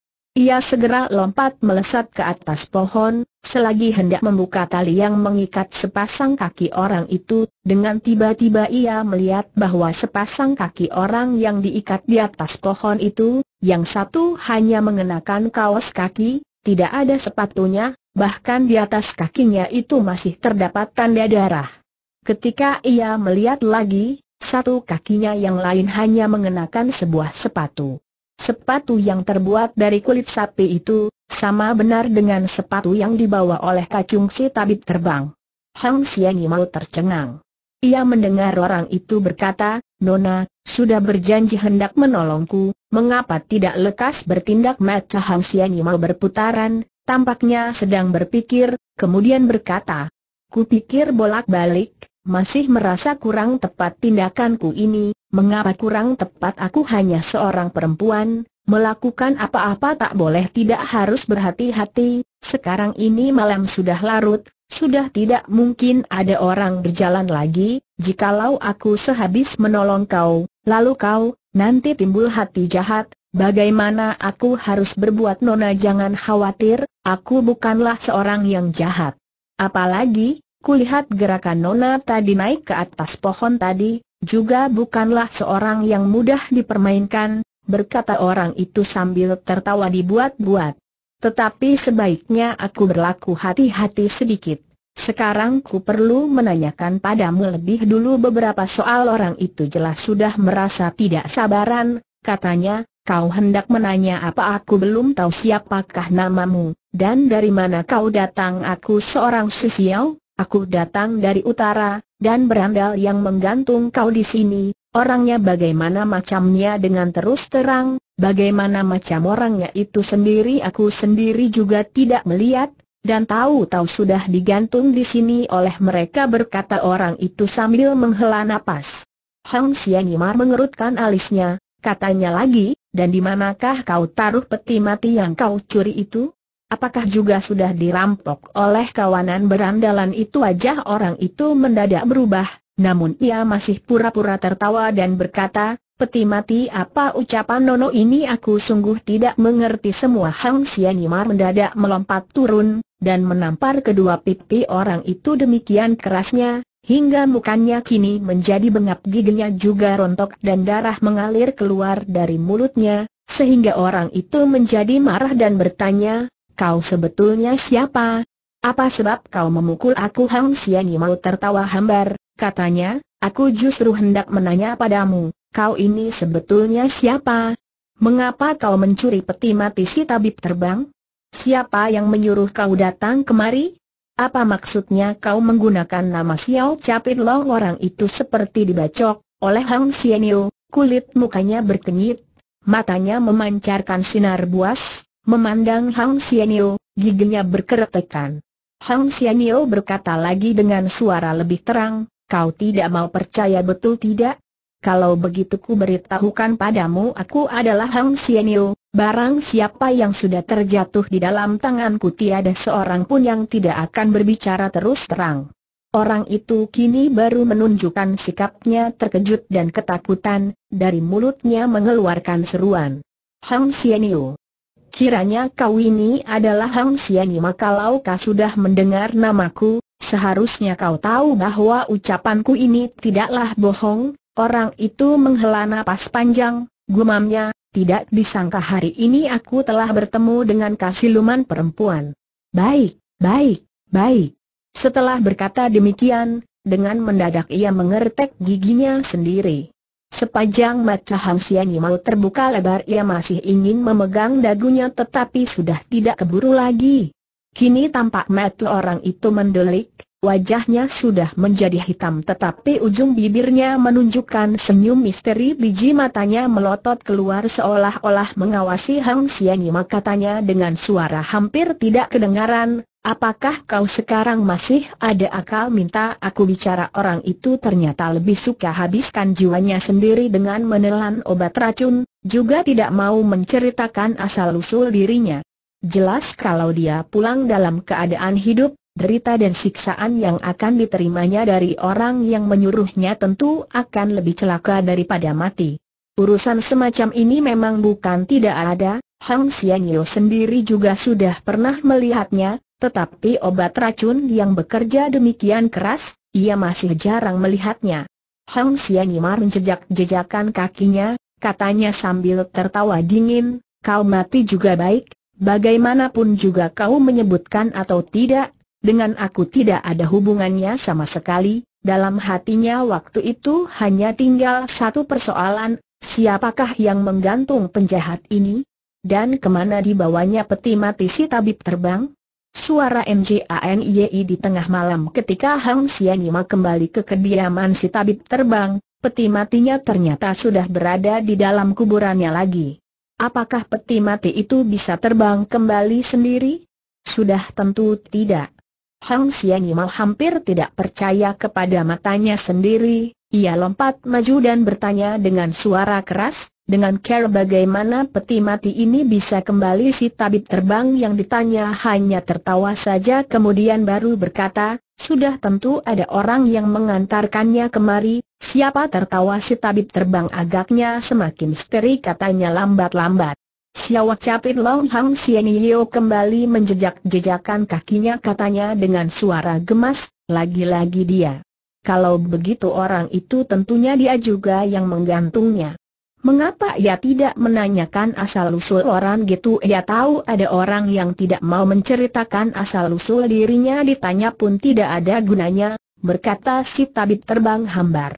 Kalau begitu mengapa ia masih meninggalkan orang itu di jalanan dalam keadaan tergantung kedua kakinya? Apakah dia sengaja meninggalkan untuk aku lihat bertanya Hang Xiani marah. Si tabib terbang hanya tertawa tidak menjawab. Mata Hang Xiani menyapu keadaan sekitarnya, kemudian berkata, sekarang di mana dia sudah pergi, kalau ia tahu aku di sini, Mengapa ia tidak mau menunggu aku bertanya Hang Xianyo sambil mendelikan matanya. Aku kata kau tidak suka menemui dia, maka ia terpaksa pergi. Hang Xianyo menggigit bibir, katanya sambil tertawa dingin, benar, aku begitu melihat orang gitu lantas merasa sangat mendongkol, Ke mana ia pergi kalau kau tidak mau menemui dia? Perlu apa kau tanya dia pergi ke mana? Hang Xiani mau tercengang, mendadak-mendadak mengangkat kakinya dan menendang meja, hingga terbalik, katanya dengan suara keras, kau si raset tua ini, kuharap ia datang lagi untuk mengutungi kedua tanganmu. Sehabis berkata demikian, orangnya juga sudah lari kabur keluar dari kediaman si tabib terbang yang berupa kuburan. Si tabib terbang menghela napas panjang, mulutnya menggumam sendiri, seorang wanita yang sudah berusia 30 tahun tapi masih seperti kanak dua saja lakunya, ini benar-benar juga merupakan suatu hal yang sangat aneh. Arak yang bernama daun bambu hijau, berada dalam cangkir keramik berwarna biru muda, hingga tampaknya seperti sepotong batu giok yang bening. Bulan purnama berpancang di angkasa bagaikan piring perak bunda, rembulan sudah bundar, tapi mana orangnya? Wajah Hang Sinio sudah menjadi merah, agaknya sudah sedikit mabok, sinar rembulan menembusi lubang jendela, ia lalu angkat muka, memandang rembulan yang bundar dan terang, hatinya terkejut. Apakah hari ini sudah tanggal 15 demikian ia bertanya-tanya kepada dirinya sendiri. Tanggal 15 bulan 7, itu adalah hari ulang tahunnya, selewatnya malam ini, berarti usianya sudah tambah lagi satu tahun. Usia 34 tahun, bagi seorang wanita merupakan suatu jumlah angka yang sangat menakutkan. Sewaktu ia masih berusia 15-16 tahun, pernah memikirkan bahwa seorang wanita apabila sudah hidup 30 tahun lebih, kalau hidup lagi juga tidak ada artinya, wanita yang sudah berusia 30 tahun lebih, seperti bunga seruni bulan 11 yang sudah layu, hanya menunggu rontoknya saja. Akan tetapi ia sendiri sekarang tanpa disadari sudah berusia 34 tahun, ia mau tidak percaya, namun tentunya tidak bisa lagi tidak percaya. Seng waktu mengapa demikian cepat berlalu? Di satu sudut dinding kamarnya ada sebuah cermin, ia memandang bayangan orang dalam cermin seperti patung, berdiri tanpa bergerak. Bayangan orang dalam cermin itu tampaknya masih demikian muda, bahkan kalau tertawa, di ujung matanya juga tidak terdapat keriput, siapa pun tidak percaya bahwa ini adalah seorang perempuan yang sudah berusia 34 tahun. Akan tetapi, Sekalipun ia bisa menipu mata orang lain, tetapi yang terang ia tidak bisa menipu dirinya sendiri. Ia memutar diri, menuang araknya ke dalam cangkirnya penuh-penuh, sinar rembulan telah membuat bayangannya yang di tanah seperti panjang sekali, dalam hati dengan sekonyong-konyong teringat dua bait syair. Syair itu demikian bunyinya, mengangkat cawan mengajak rembulan minum arak, menghadapi bayangan menjadi tiga orang, Dahulu ia selamanya tidak pernah merasakan betapa dalamnya maksud yang terkandung dalam syair itu. Di luar rumah tiba-tiba terdengar suara tangisan anak. Dahulu ia paling benci kepada suara tangisan anak, akan tetapi sekarang betapakah besarnya kerinduannya untuk mendapatkan seorang anak. Ia benar-benar sangat mengharap bisa mendengar suara tangisan dari anaknya sendiri. Sinar rembulan menyinari wajahnya, entah dari mana datangnya air mata di kedua pipinya. Selama beberapa tahun terakhir ini, ia pernah beberapa kali ingin mencari seorang laki-laki sebagai suami, akan tetapi ia tidak bisa. Laki-laki yang dijumpainya sebagian menjemukan bagi dirinya. Demikianlah usia remajanya telah berlalu, lewat beberapa tahun lagi, laki-laki yang dahulu menjemukan itu, barangkali juga tidak mau lagi kepadanya. Aih, Beginilah nasibnya perempuan yang sudah berusia 34 tahun. Di luar pintu kembali terdengar suara tertawa dari seorang laki-laki. Suara tertawa itu demikian kasar dan kerasnya, bahkan siapa pun yang mendengarnya dapat segera tahu bahwa orang itu sedang mabuk. Laki-laki ini entah bagaimana macamnya demikian ia coba bertanya-tanya kepada dirinya sendiri. Laki-laki itu pasti sangat kasar, jorok dan penuh bau arak. Akan tetapi apabila laki-laki itu masuk ke dalam dan meminang dirinya, mungkin ia bisa menerima. Seorang wanita yang sudah mencapai usia 34, pilihannya terhadap laki-laki tidak bisa sekeras seperti kalau ia memilih pria pujaannya pada usia 20 tahun. Dalam hati Hang Sinio bertanya-tanya kepada diri sendiri, di ujung bibirnya tersungging senyuman getir. Malam semakin larut, di luar berbagai macam suara semua sudah tidak kedengaran lagi, kembali menjadi sunyi senyap. Dalam kesunyiannya itu, dari jauh terdengar suara kentongan yang kedengarannya sangat menjemukan, tapi begitulah keadaan dalam desa pada setiap malamnya. sudah waktunya harus tidur, demikian Hang Sinio berkata lagi kepada dirinya sendiri.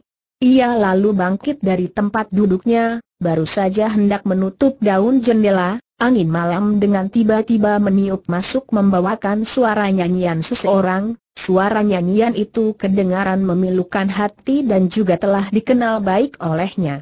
Xiao Capit Long dia ingat, setiap kali bertemu dengan Xiao Capit Long, di mulutnya selalu menyanyikan lagu ini sangat perlahan dengan irama yang sama, waktu itu sikapnya bisa berubah demikian mengenaskan.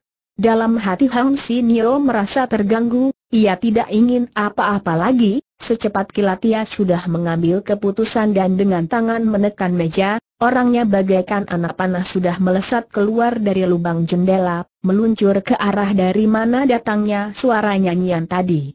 Jalan raya yang panjang tampak sunyi senyap. Di depan setiap pintu rumah hampir semua ada setumpukan abu kertas yang habis dibakar, sewaktu angin meniup abu itu berterbangan mengikuti arah ke mana angin berhembus dalam keadaan gelap. Itu juga tidak diketahui ada berapa banyak setan gentayangan yang berebutan abu kertas sembahyang itu. Tanggal 15 bulan 7 menurut kepercayaan bangsa Tionghoa itu adalah saatnya setan-setan pada keluar dan sekarang pintu setan sudah terbuka lagi, benarkah di dunia ini ada berbagai jenis setan? Hang Xianimar mengertek gigi mulutnya menggumam sendiri, Xiao Cap It Leong kau juga seperti setan keluarlah sekarang akan tetapi satu bayangan setam pun tidak ada dan suara nyanyian tadi juga sudah lenyap. Kembali. Hang Xianio berkata sendiri dengan suara gemas, orang ini benar-benar seperti setan. Ia tidak suka melihat aku tapi membiarkan aku mendengar suara nyanyiannya pikiran Hang Xianimar mendadak berubah kesepian tenaganya seperti sudah lenyap seketika, ada dia pulang minum beberapa cawan arak, mungkin bisa tidur hingga esok hari. Dan besok, mungkin segala duanya sudah berubah semua. Sebabnya seseorang bisa hidup terus, Mungkin lantaran selalu ada harapan di hari esok. Xiao PJA Long ketika Hang Xianima melihat sinar lampu dari jendela rumah, dalam hatinya timbul perasaan hangat yang tidak diketahui apa sebabnya, ia merasa seolah dua sudah pulang ke rumahnya sendiri. Seseorang pulang ke rumah, lalu menutup pintu, itu seolah dua seperti sudah meninggalkan segala penderitaan harinya di luar pintu, Mungkin inilah arti utam dari apa yang dinamakan rumah tangga. Tetapi benarkah ini rumah tanggaku ini hanya sebuah kamar dari satu rumah penginapan saja? Demikian Hang Xianio berkata kepada dirinya sendiri. Ia menghela napas panjang, ia belum pernah tahu kapan baru mempunyai rumah tangga, Huga belum pernah tahu kapan rumah tangganya nanti bakal dibangun. Baru saja ia berjalan ke bawah jendela, sudah terdengar suara orang di dalam kamarnya. Keluar dari Iang Kean tiga ribu li jauhnya, selanjutnya pandang Xiao Leng sebagai orang jalanan. Hang Xianio Hang Xianio, kupikir kau sudah melupakan diriku demikian suara dari dalam kamarnya itu. Sekujur tubuh Hang Xianimar mendadak dirasakan panas, tanpa banyak berpikir lagi lantas lompat melesat masuk ke dalam kamar, dan berkata dengan suara nyaring, kau setan ini, akhirnya kau toh unjuk muka juga secawan arak di atas meja ternyata sudah kosong. Di atas pembaringan nampak rebah terlentang seseorang, dengan menggunakan bantal menutupi mukanya sendiri. Orang itu menggunakan pakaian berwarna biru, tetapi sudah mulai agak keputih-putihan. Di pinggangnya terdapat ikat pinggang kain warna biru tua, di ikat pinggangnya itu tergantung sebilah golok. Golok itu bentuknya lebih pendek dari golok biasa, sarung golok terbuat dari kulit berwarna hitam, sudah terlalu lama hingga warnanya tidak begitu terang lagi, tetapi masih agak baru tampakannya kalau dibandingkan dengan sepasang sepatunya. Kakinya diangkat tinggi dua, di bawah sepatunya terdapat dua lubang. Dengan kakinya Hang Xianimar menendang sepatu orang itu, katanya dengan raut muka cemberut.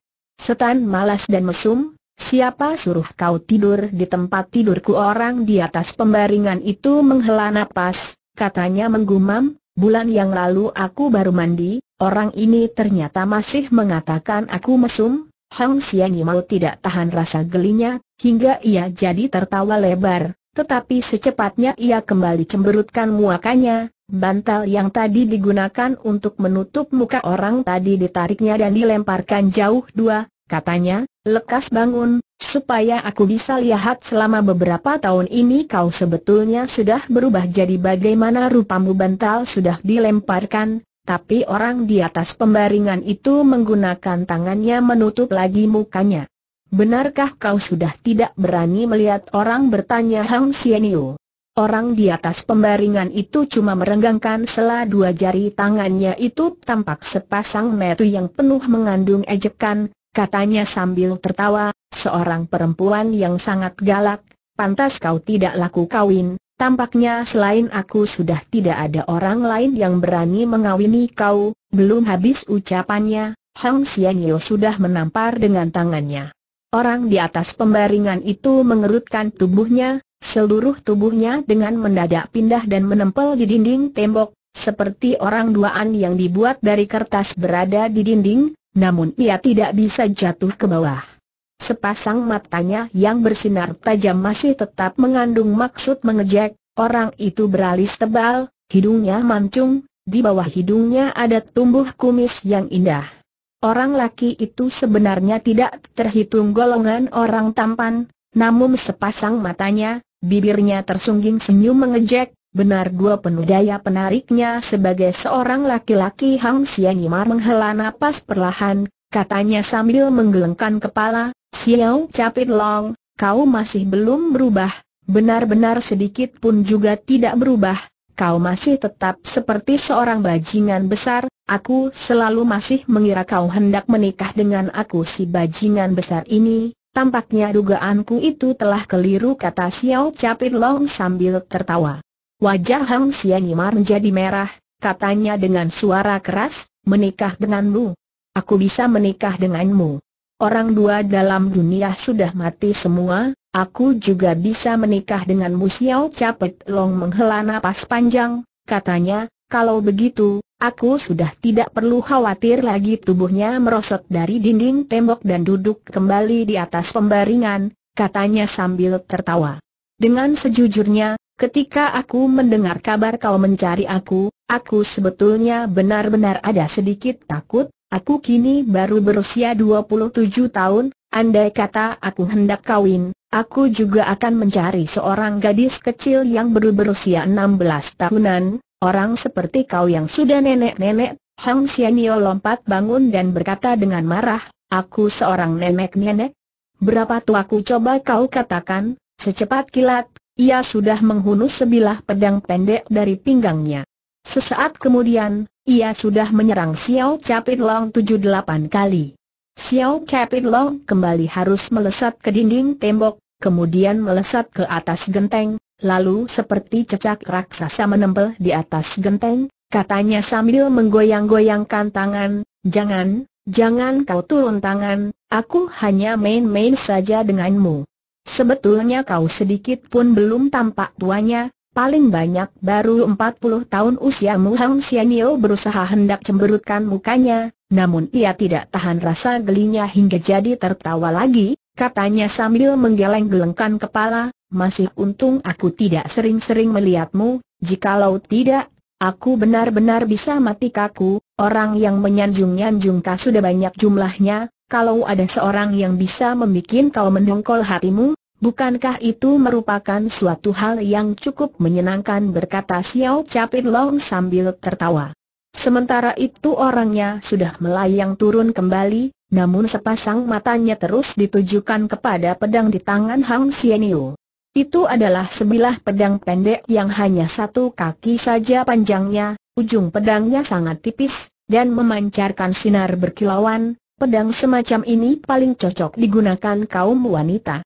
Jago pedang wanita Kong Santo Anyo yang terkenal namanya pada zaman kerajaan Tong, pedang yang digunakan olehnya juga adalah pedang semacam ini.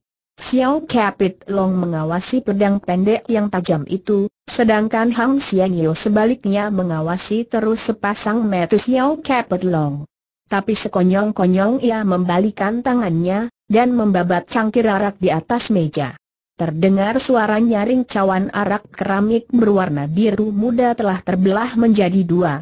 Xiao Capit Long berseru dengan pujiannya, pedang bagus sekali, Hang Xianyo seperti tertawa namun bukan tertawa, katanya hambar, pedang ini meskipun tidak bisa digunakan benar-benar untuk memotong besi sebagai tanah, tetapi masih terhitung boleh juga. Pedang pusakaku ini terlalu disayang oleh Xiao Yao Hao bagaikan benda pusaka yang sangat berharga, sekalipun untuk diperlihatkan saja kepada orang lain juga ia bisa merasa keberatan. Xiao Capit Long mengedip-ngedipkan matanya, tanyanya sambil tertawa, tapi, dia akhirnya toh memberikan juga pedang ini padamu. Betul tidak sedikit pun tidak salah menjawab Hang Xianyo sambil angkat muka. Jikalau demikian halnya dia ternyata sudah menaksir dirimu apakah dia tidak boleh menaksir aku? Apakah aku benar-benar sudah sedemikian tua Xiao Capet Long menghela napas dan berkata, orang perempuan bisa menarik perhatian orang seperti Xiao Yao Hao itu, sesungguhnya tidaklah mudah. Entah ia hendak mengambil kawakan dijadikan gundik yang keberapa kentutmu, berkata Hang Xiang marah. Pedangnya kembali diangkat, namun Xiao Capet Long cepat-cepat sudah mengkeretkan kepalanya. Hang Xian Yimak perlahan-lahan menurunkan kembali pedangnya, matanya melirik kepada Xiao Capit Long seraya berkata, kalau kau benar-benar pintar seharusnya tahu asal-usul pedang ini tampaknya pedang ini seperti pedang Nagiok, batu giok biru, yang digunakan oleh murid kepala Kong Sun Toan Yosin Beng Lan jawab Xiao Capet Long.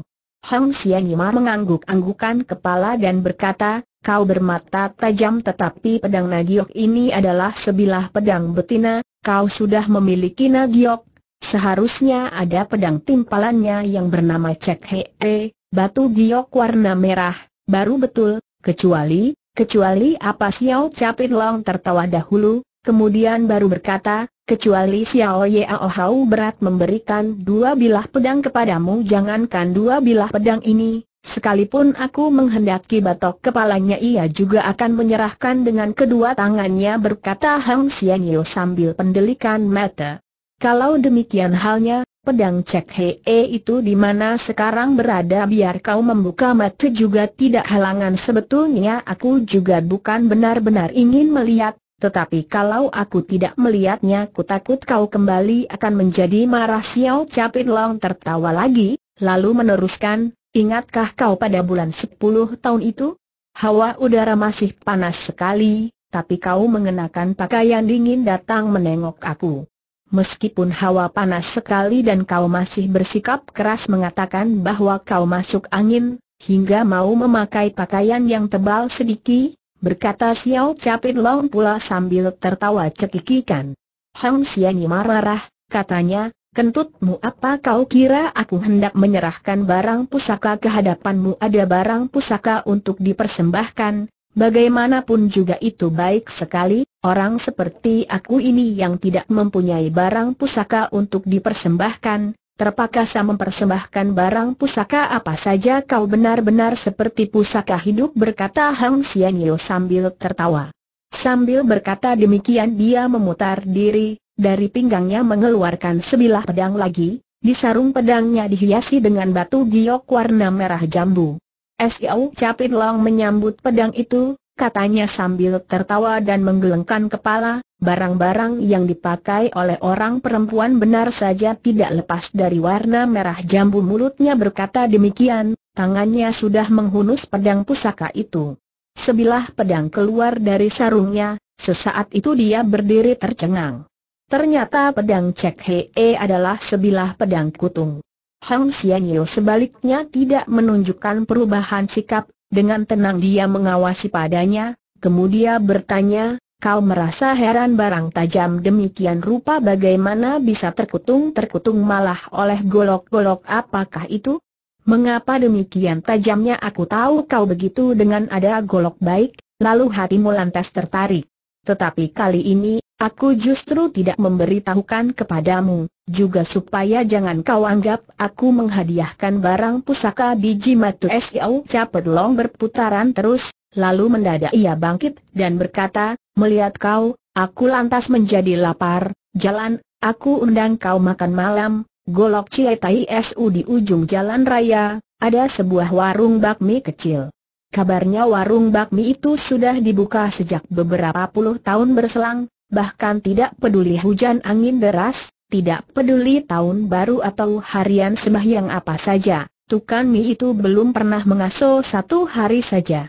Oleh karena itu, maka orang-orang yang suka pesiar di waktu malam, semua tak usah khawatir akan kelaparan, disebabkan seandainya benar sampai pulang tak dapat pintu dari istri, setidak-tidaknya masih bisa makan di warung mie kecil itu sehingga kenyang.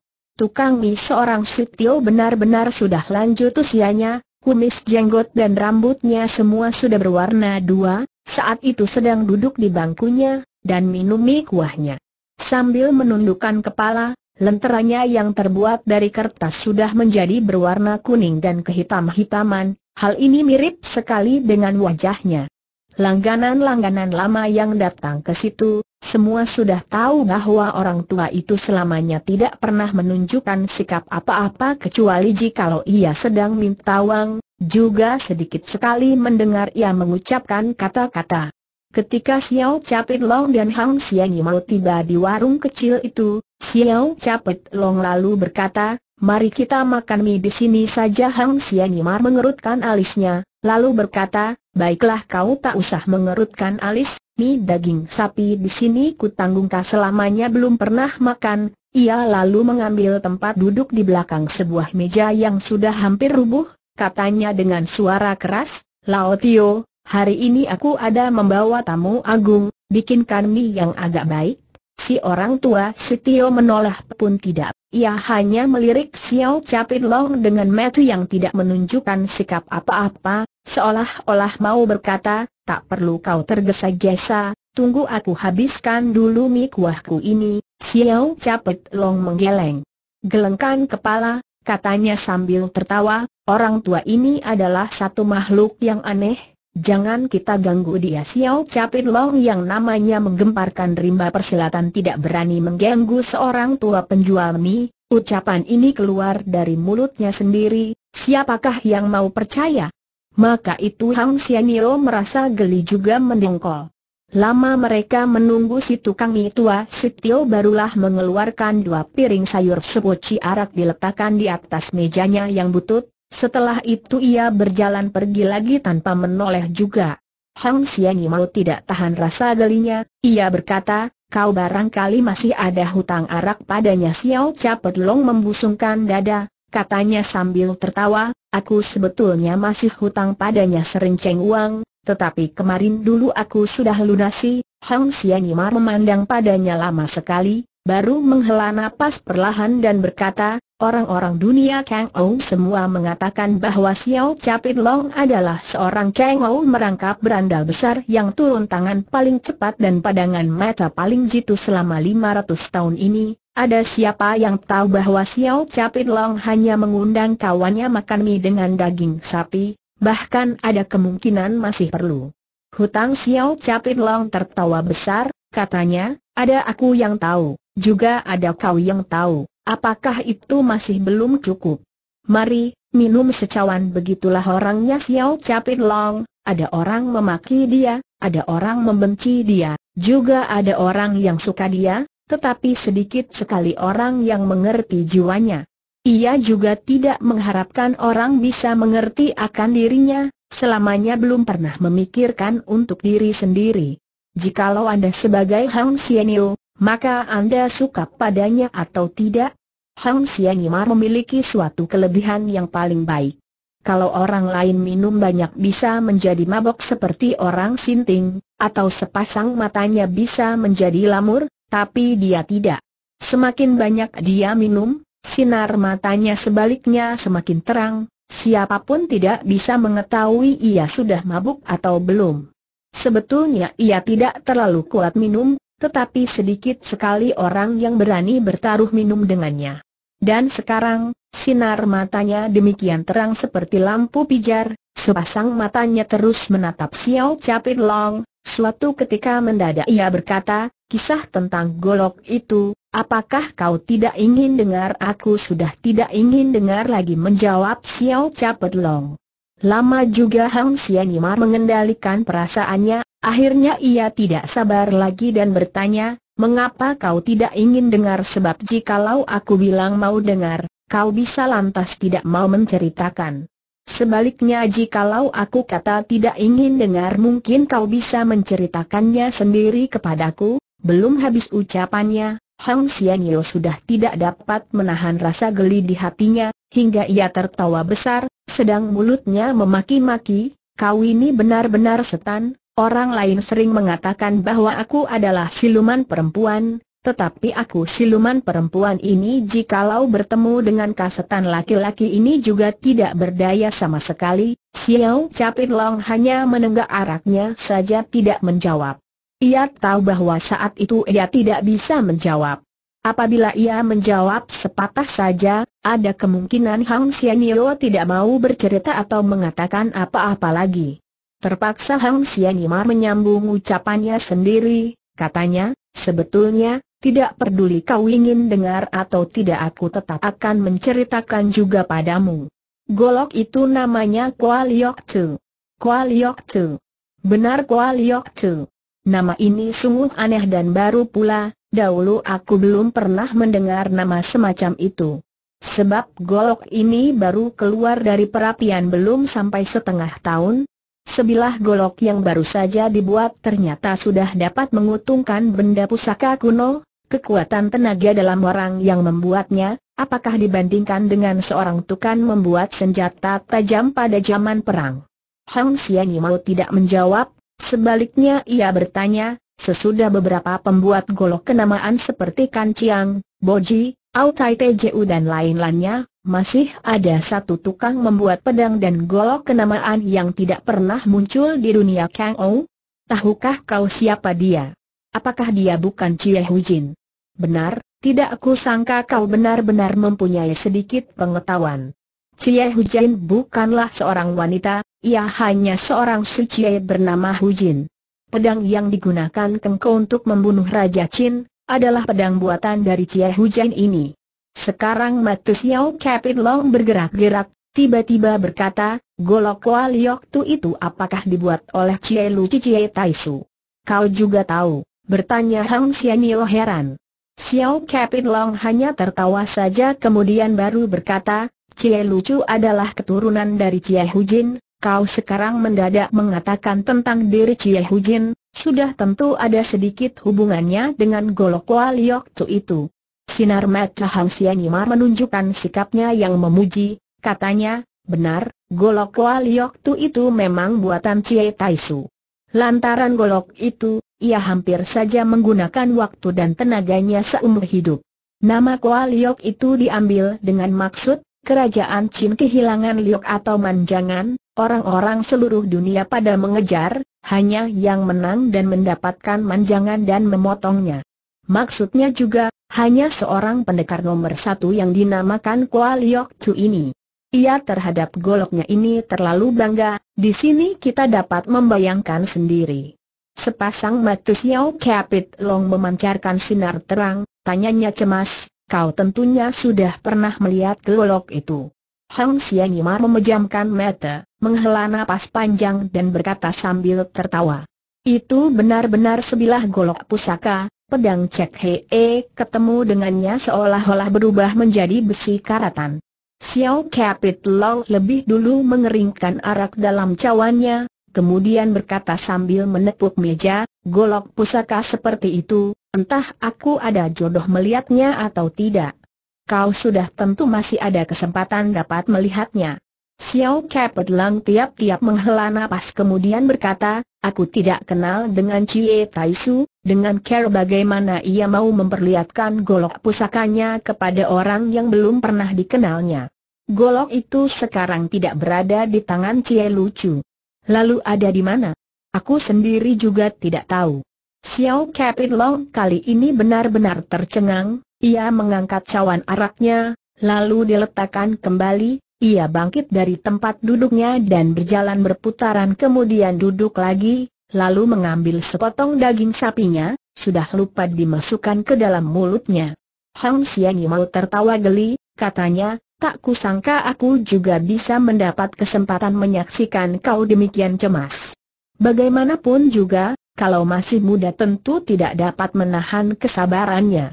Xiao Capit Long mengawasi Hang Xian sambil kedip-kedipkan matanya, kemudian berkata, kau kata aku seorang muda? Aku ingat kau masih muda dua tahun daripadaku. Hang Xian Yimar memaki-maki sambil tertawa, setan kecil, kau jangan coba menyanjung-nyanjung aku lagi, aku lebih tua daripadamu lima tahun, empat bulan dan tiga hari, kau seharusnya panggil aku Enci baru benar. Enciku, kau ingat demikian jelas, berkata Xiao Capit Long sambil tertawa getir. Adik, kau masih tidak lekas menuangkan arak untuk encimu. Ya ya ya ya aku akan tuangkan arak. Hang Xianyima melihat menuangkan arak, baru berkata sambil tertawa, Ha, itulah baru namanya adikku yang baik.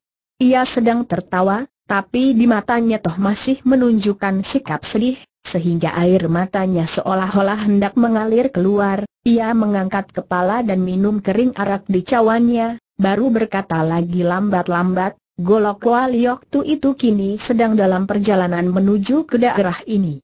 Xiao Capit Long panik mendengar ucapan itu, hampir saja araknya tertumpah di atas meja, tanyanya pula dengan sikap cemas, di sepanjang jalan ada orang yang melindungi golok itu atau tidak. Golok pusaka yang demikian kesohor, mana bisa tidak ada orang melindunginya. Siapakah orang yang melindunginya? Tio Buke.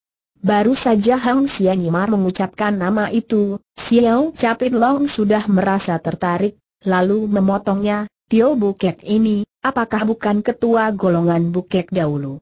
Kalau bukan dia siapa lagi? Xiao Capit Longgam sesaat lamanya barulah perlahan-perlahan menganggukkan kepala, agaknya sudah menetapkan suatu rencana dalam hatinya. Hang Xiani mau terus menatap wajahnya, memperhatikan perubahan sikap pada wajahnya, kemudian berkata pula, kecuali Tio Bukek, masih ada lagi keantong Tai Hiap Tu Xiao Tian, satu-satunya tokoh jago pedang golongan Helem yang bernama Heleng Chu. Sudah cukup, tiga orang ini saja sudah cukup. Tetapi mereka masih belum anggap cukup, maka mengundang lagi Su Hong Kuan yang mendapat nama julukan Raja Garuda dengan satu dengan satu tangan dahulu pernah membinasakan delapan penjahat besar, yang membuat namanya jadi terkenal. Xiao Capet Lang tidak berkata apa-apa lagi.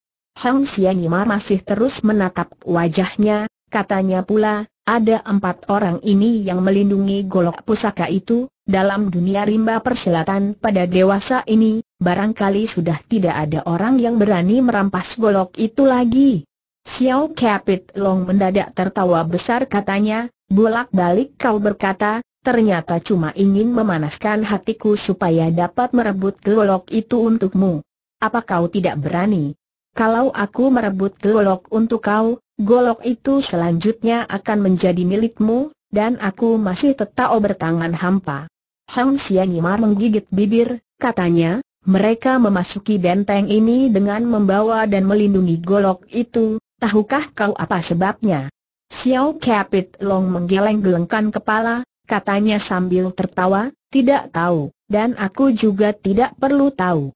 Sebab, biar bagaimana mereka tentunya tidak akan mungkin mau memberikan golok itu kepadaku, taruhlah kau tidak berani merampas golok itu, apakah kau juga tidak ingin melihatnya saja tidak?